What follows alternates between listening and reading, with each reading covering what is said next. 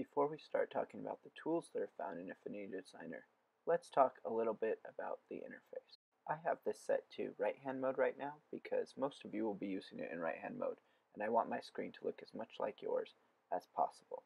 If it were in left hand mode, everything would be reversed, so the things on the left would be on the right and the things on the right would be on the left.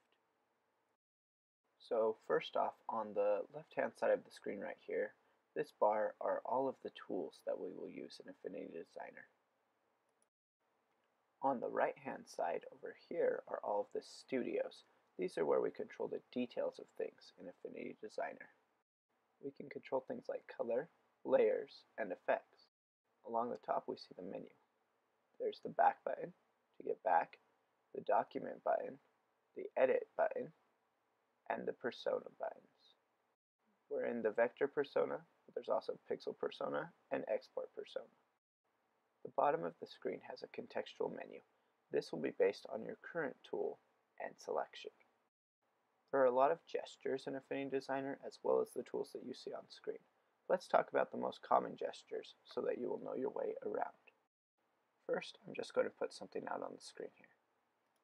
One of the most important gestures that you will want to know is undo, which is a two-finger tap on the screen. To redo something, just tap with three fingers.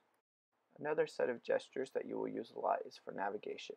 Pinch out with two fingers to zoom in, and pinch in with two fingers to zoom out.